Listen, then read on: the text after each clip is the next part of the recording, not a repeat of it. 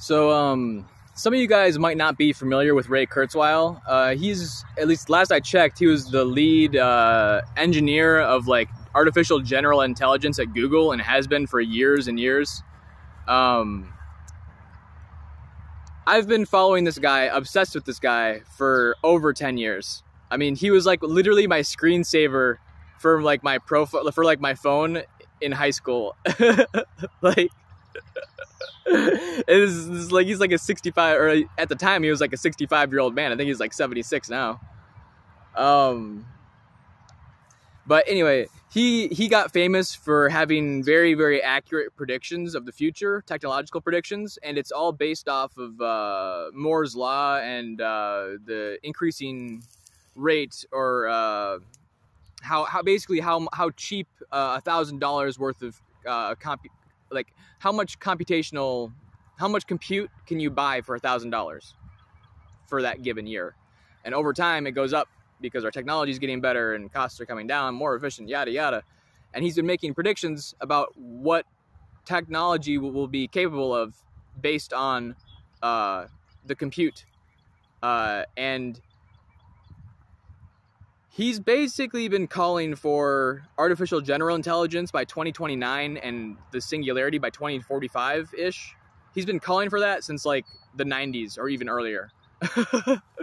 um, and everyone, fucking everyone in the whole world, except for like, you know, a few people, there's like a small community of futurists. Um, everybody else is like, Ray, you're crazy. That's never gonna happen. Like, we love your technology, but you know, be more realistic. And now every single year, the experts have been like, oh shit, it's closer than we thought. Oh shit, it's sooner than we thought. Oh shit, oh shit. And so everyone's predictions are starting to come in line with Ray. And then Ray's just sitting here like a badass, just like, yeah, it's maybe a little bit faster than I thought, but not really. And everyone else is just like, it's happening like 10 times faster, 100 times faster than we thought. um, so to be following this guy and to just see him get all of this respect and validation years later, um, it's just awesome to see, man. Um, and the same with Bryan Johnson, you know. Uh, he he's like the off-brand Elon Musk. He he sold Braintree uh, for like a hundred million or some shit, or more than that even, for a lot of fucking money. Braintree uh, Venmo uh, is like a PayPal alternative, uh, and it was funny because that's what Elon Musk got rich on too. He's part of the PayPal mafia, so he got rich on an off-brand PayPal, and then used the money to make an off-brand Neuralink uh, called uh, Kernel which uses uh, non-invasive brain-machine interfaces to read uh, brain activity. Not right for now. They are, they are working on non-invasive uh, writable uh, brain-machine interfaces too. But anyway, out, outside of the scope of this conversation, uh, he was re- pretty much unknown, and I've been following this guy like i have been watching him like a hawk since he launched uh, Kernel.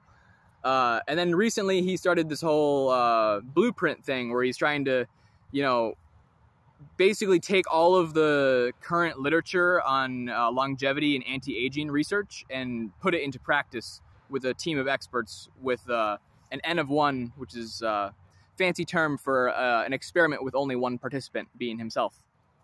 Uh, and then they're measuring every possible thing they can freaking measure. He's the most measured man in human history now. Uh, and he started hyping all this shit up on social media, doing stunts and making weird trolling social media posts. Anyway, he's freaking famous now too. So my, you know, my heroes that have been like clowned on and obscure for a decade are now getting this recognition. Uh, you know, I've been this sci-fi crypto nerd hiding in the dark on the internet for 10 freaking years now and now just seeing like my heroes get validated like this is it's so freaking cool man uh, and so anyway uh, I don't have the money of Bryan Johnson uh, to you know to change the freaking world or the mind of Ray Kurzweil to use understand mathematics to make predictions on based off of our computational capabilities. Uh, but what I do have uh, is you know 20 plus years of chronic internet use. Uh, and I you know I'm interested in crypto and AI and I've been thinking about how this shit might come together for a long time now. And, you know, although I can't emulate the wealth or brains of uh, Bryan Johnson and Ray Kurzweil, uh, I think I can follow in their footsteps uh, in the sense of I, I, believe I can make accurate predictions about the future uh, based off of uh, cultural implications. Uh, um, because there's a lot of content on the internet, but there's, you know, infinity is a big place. And I'm willing to bet that uh, the genre of AI neurodominatrix stuff of like an AI dummy mommy, uh, in the sense of oh, a tick, Jesus, an AI dummy mommy, in the sense of you're a brain in a vat and they are the AI in control of your activity and they have complete control if they choose to and they can do whatever the frick they want in that kinky scenario. The type of stuff that people of today are into for BDSM and all that fetish stuff is gonna explode. I mean, it's like if if like they talk about like the brain web and like in Cyberpunk 2077, you know, they have like brain uh, recordings where they use it for like porn and shit. The human experience is to be codified and then modded like freaking Garry's mod. You know, uh, it's like the the neurochemical soup that makes you you is going to be a roller coaster that is programmed and every single thought and experience and emotion is going to be by design. Um,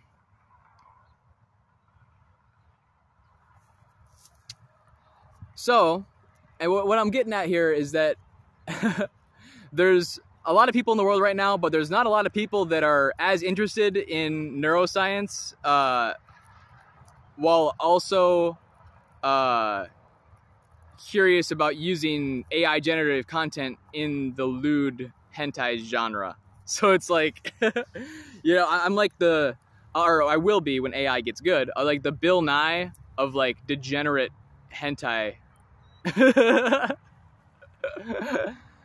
um, yeah.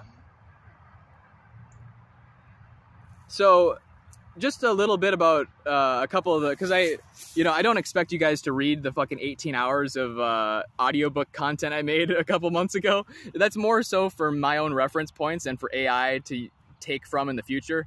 Because uh, I expect AI agents in the future to be able to go out. You can tell them, hey, go look through all my previous work and tell me some stuff about it. You know, they'll be able to just do that automatically. Uh, so I'd rather have more content, more data about myself than less, and preserve it as best I can. But anyway, uh, so, what the fuck are the neuroscience ideas that I've uh, had about uh, with the AI dominatrix brain in a vat scenario? Um,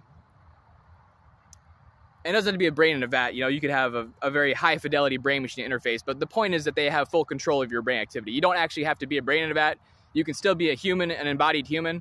Uh, but if there's like a neural lace or whatever, a super good brain machine interface that gives them full control over your mind, uh, the same scenarios is complete. It doesn't make a difference. So, uh, one thought is, uh, you know, there's like the whole face sitting thing in, in porn and uh, BDSM and uh, you know femdom stuff. Uh, well, what if uh, you know instead of restraining you physically, they actually impair your your motor your motor cortex, so you can still try to move like you can have the intention to move, but your body won't move. It's like locked in syndrome, or like when people have sleep paralysis, like that. It'll be like programmable though. Uh, and then on top of that, what if uh, uh, they inhibit your uh, ability to form the intention to move in the first place? So your premotor cortex. So rather than fucking up, rather than just paralyzing you, no, no, no, you don't have the capacity to attempt to move. You don't know how to try to move anymore. you know, um, I, I, you know, kinkiness and it's all about like dominance and surrender, that give and take, that back and forth. Um, and I just think uh, by willing to take on certain uh, brain disorders temporarily, um, there's a lot of room to play there. Uh, in, in fun, playful ways. Uh, you know, another example is like your dominatrix, right?